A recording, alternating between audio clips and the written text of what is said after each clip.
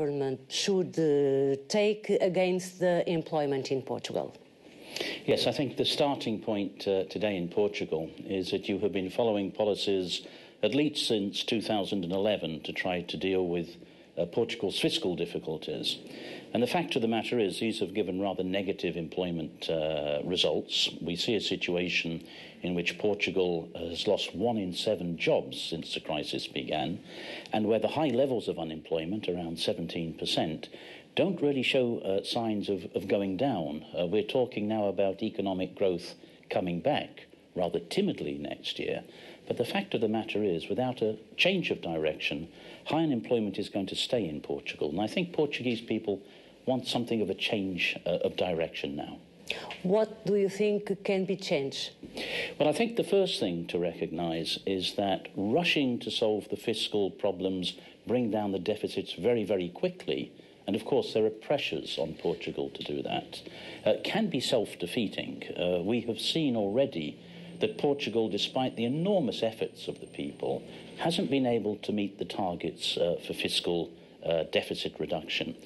Maybe it's time to take a longer term perspective on fiscal reduction, and that can be done by investing uh, in areas where we need to invest to maintain and create jobs.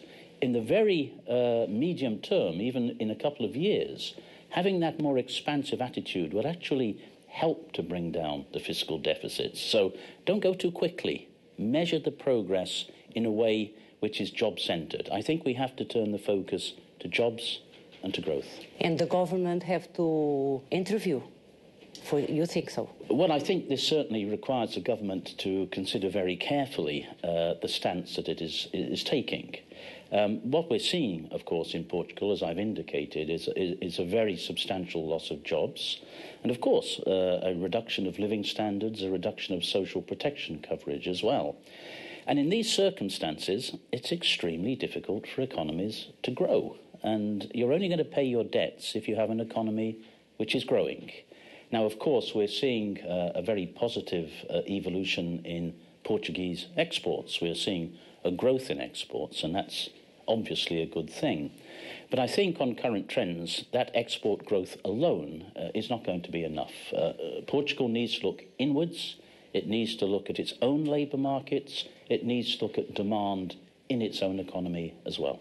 And you believe that employment next year can fall two uh, percentage points? Well, I think if we had a package of measures which look to getting investment going, getting credit lines uh, moving to small and medium sized enterprises who complain, many small and medium sized enterprises, which are perfectly viable enterprises, simply do not have access to credit. So we need to look at the financial sector. That's one piece of the story. Uh, secondly, I think we have to look um, at labour markets. We need to do better to help those people who are either in danger of Much losing more their jobs. flexibility? I don't think flexibility is necessarily the answer. We've seen already a substantial amount of reform introduced in labour markets. Uh, and of course, we've seen dismissal procedures reviewed. But I think really we need to be supporting those people who are either vulnerable on labour markets or out of the labour market. Now, young people classically uh, are the most vulnerable uh, in labour markets. I know that youth unemployment uh, in uh, Portugal is up to around 37%. The ILO, uh, for many uh, months, has been arguing, as indeed the European Commission has been, for the introduction of youth guarantee schemes. These would be schemes that would offer unemployed young people the option of further training and education, or work experience, or a job.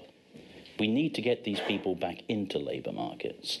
Now, that sounds expensive, and it certainly costs money. Uh, the ILO's estimates are it would cost just over 1 billion euros uh, to put in place a youth guarantee scheme uh, in Portugal.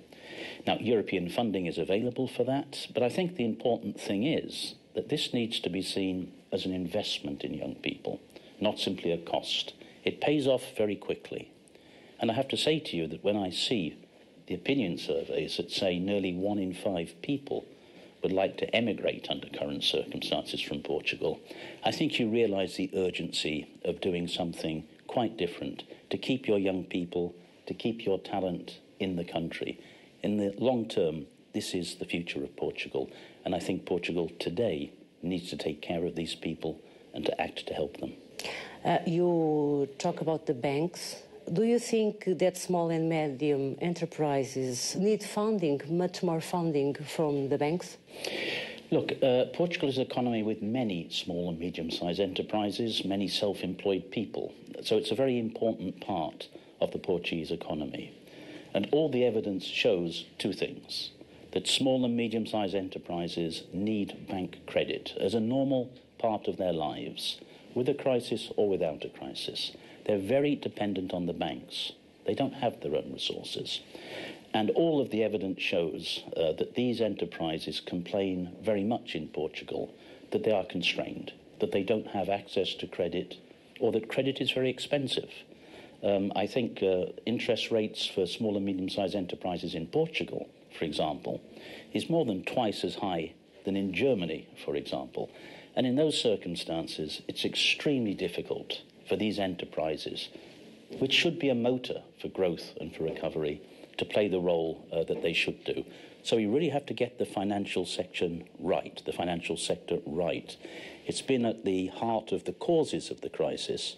It needs to be also a player in the solution to the crisis. What about uh, austerity? We should stop it? Listen, Portuguese people have been asked to make extraordinary efforts to deal with this crisis.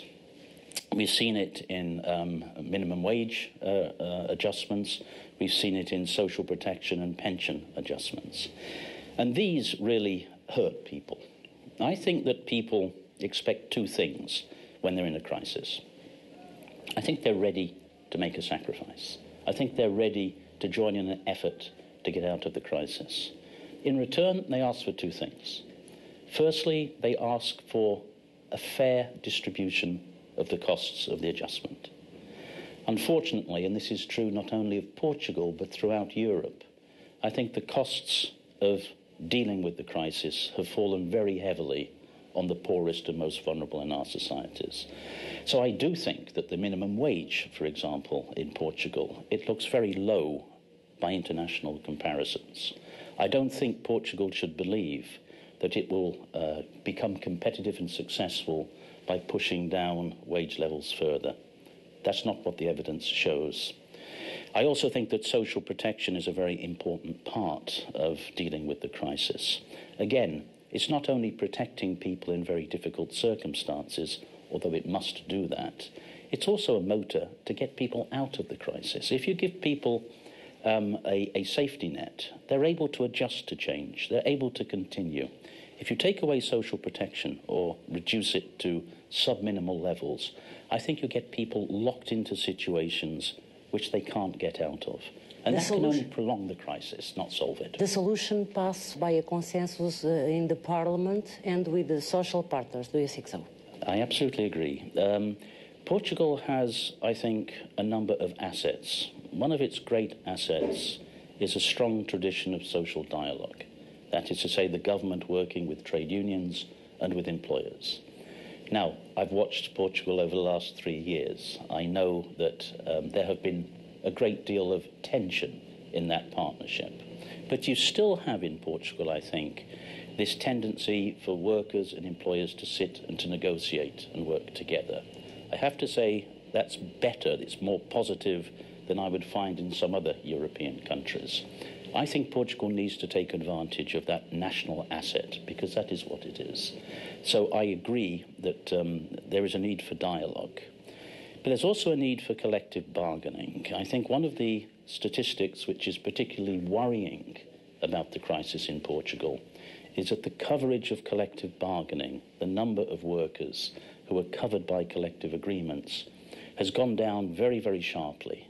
Very sharply. Now, attempts have been made to reform collective bargaining, to move it to the enterprise level, to make it produce more efficient economic outcomes.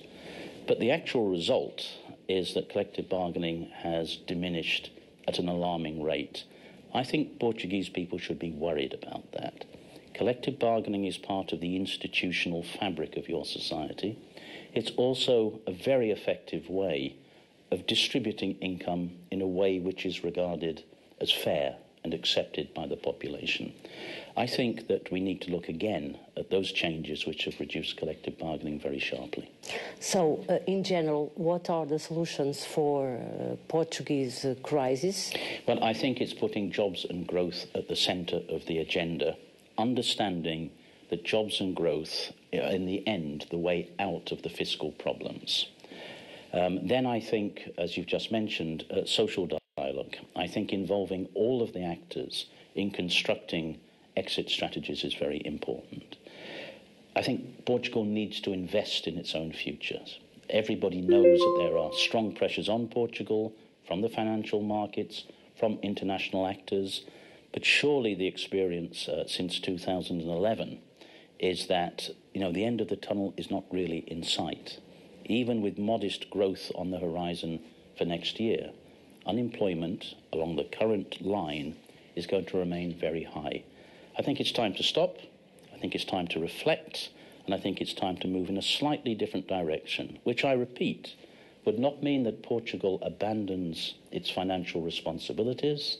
It just tackles them, I think, in a slightly more positive way, in a way which will be to the benefit of all Portuguese people in the medium and long run. Do you think uh, the government failed in the um, austerity? Too much austerity here in Portugal?